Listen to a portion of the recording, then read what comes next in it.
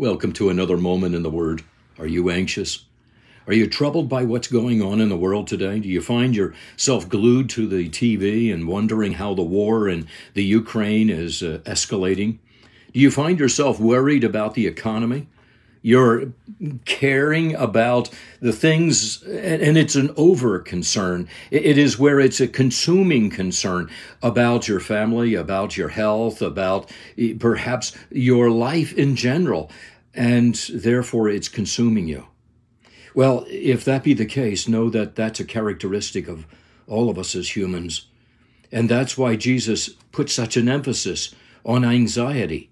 He has been talking about two masters, and we can't serve two masters. He's been talking about two visions. You can't be double visioned. You can't have your eyes set on the things above and things below at the same time. You can't be omniscient. You're not God. And so, consequently, what happens is we become anxious because we can't control all of those things. And that's why Jesus now takes us to a rhetorical question. The question that he asks is in verse 27. He says this Which of you, by being anxious, can add one cubit to his stature? Notice that he has been talking about anxiety four times in this section.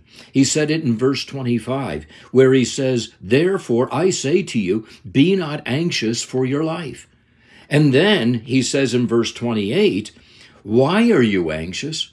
And then again in verse 31, Therefore be not anxious. And then again in verse 34, Be therefore not anxious. That's an imperative command that we're not to be anxious. But how can we stop worrying?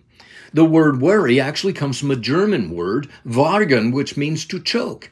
And therefore, what we're doing and Jesus talked about it in the sower, in the four soils, and the cares of this world that choked off the seed is that we are choking off the Word of God and the Spirit of God from controlling us because we are wanting to take control. You see, that's what the word anxiety means, is that we want control.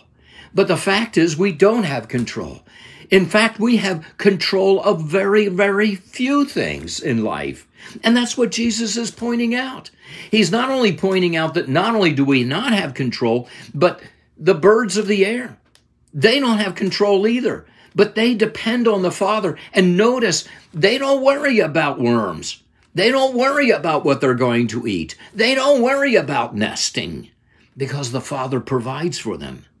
And he's going to, after verse 27, he's going to talk about the lilies of the field. He's going to talk about flowers and that God provides for them. They're clothed far better than we are. And so, consequently, it's so important that we depend on Him. So, He's asking a rhetorical question, a question that has an obvious answer. And He's asking us, He's asking you, He's asking me, which of you and now he says, by being anxious. The word being anxious is a present participle. We would call it today perseverating. In other words, it's where I'm thinking and obsessing on something and I can't get it out of my head.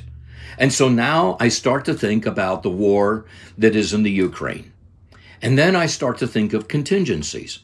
Oh, what if they do this? What if they do that? What happens to us? How is this going to affect me? And I think of all of the contingencies, all of the what ifs. And maybe you're doing that with your family and you're thinking about your children and you're thinking about, well, what if? And you're thinking about health. Well, what if I have this? What if I have that? What if the doctor didn't check this or check that? What if the medication doesn't work? And so consequently, we do all of these what ifs we're leaning on our own understanding, aren't we? And leaning on our own understanding will always bring us to anxiety. And so, what our Lord is saying here is, which of you, by being anxious, and the next word is can. And the word can is dunamos. We get our English word dynamite from it. Which of us have the power to make any difference?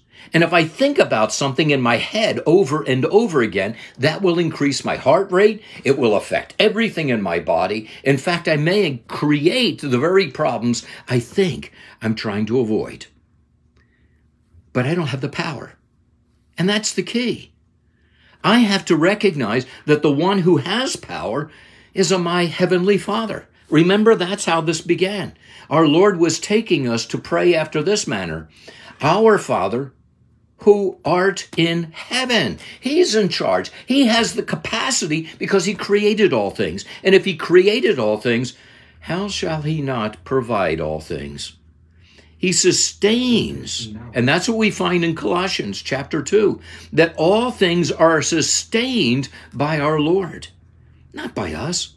We have no power. And so, consequently, he says, Which of you, by being anxious, can add one cubit to his stature? Now, this is the part of the passage that actually can be translated one of two ways.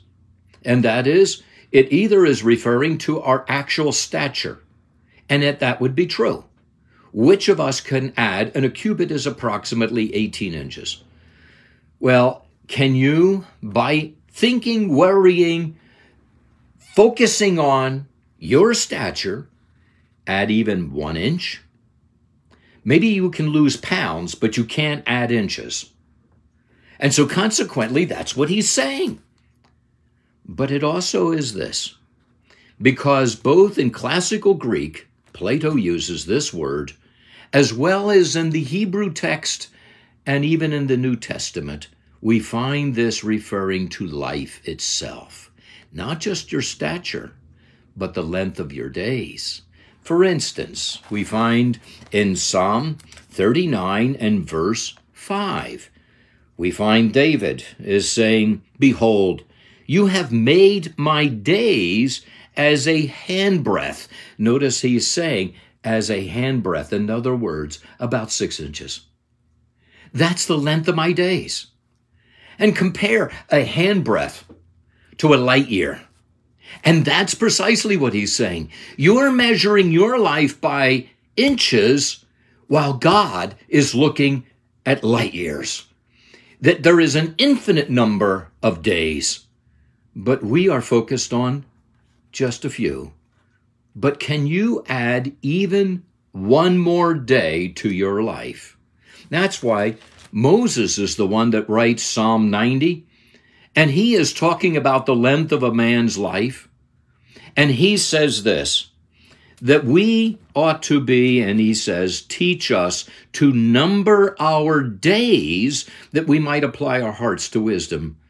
In other words, as I apply my heart to wisdom, I am not worried about when I'm going to die, how I'm going to die, but instead that I might have wisdom because wisdom takes me beyond the grave.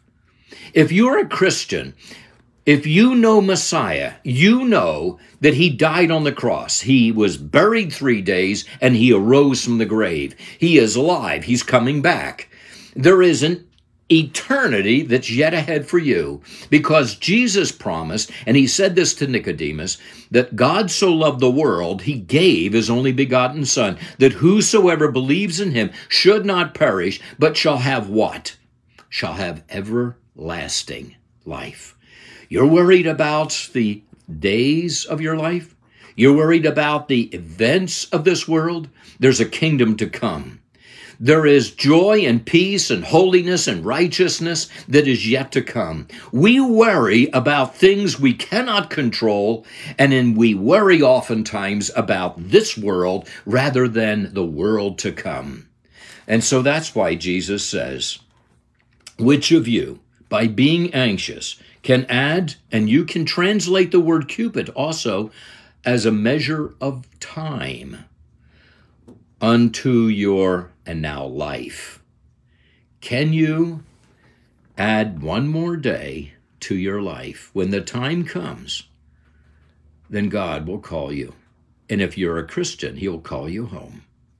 I'm reminded of another passage, and that is in the Gospel of Luke, where Jesus is actually using this same expression. It has a little more detail, so that's why I'll share it with you now.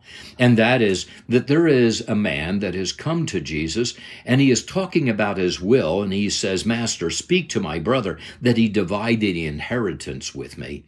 And you know how it is sometimes with wills, and we get all upset and buried and worried about how the money will be uh, distributed. And then Jesus says, Take heed and beware of covetousness, for a man's life consists not in the abundance of things that he has. And then he then gives a parable of the rich fool.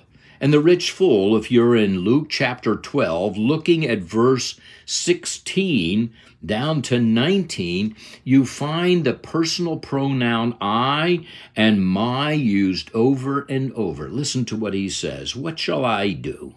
Because I have no place to bestow my crops. And he said, This will I do. I will pull down my barns and build greater, and there will I bestow all my crops and my goods. And I will say to my soul, Soul, thou hast much goods laid up for many years. Take your ease, eat, drink, and be merry. The next words are in verse 20. But God. God says, This night your soul is required of you. You see what is happening here? We have no control over what is going on around us. That is really ultimately God's control, and He's promised that all things work to the good, and therefore we should be asking God, how is this working for good? Where is His providence? Where is His glory shown even in our seeming moments of desperation? And then Jesus says, Life is more than food, and the body more than raiment. And he says, verse 25, which of you by being anxious can add to his stature one cubit, the very verse we just saw in Matthew. If you then are unable to do that which is least, why are you anxious about the rest? that's the very point, isn't it?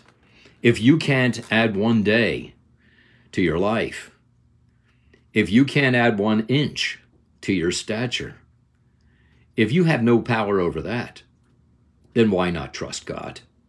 God has all things in control, doesn't He? Are you trusting Him? Are you having His peace in your life because you've given control to Him? If you keep that control, or you think you do, then you'll be anxious, you'll be tormented, you'll worry, and you will be very sad in the, in the end. Trust God. Let's pray. Father, thank you and we praise you that you have given us your peace by knowing you and by knowing that you are in control because you control us now. And we know the joy and the Holy Spirit working in us that brings peace. And therefore, Father, we are at peace regardless of our circumstances. Bless my brothers and sisters, and especially those who are in the Ukraine or in Eastern Europe or in Russia. And that you truly, Father, would be glorified in their lives and they would know not only the peace of God, but the God of peace. And that they would, Father, trust you in this hour of desperation. And we pray, Father, for each one that's listening now, that you, Father, would be our consolation and our comfort because you are our Savior. In Jesus' holy name we pray. Amen.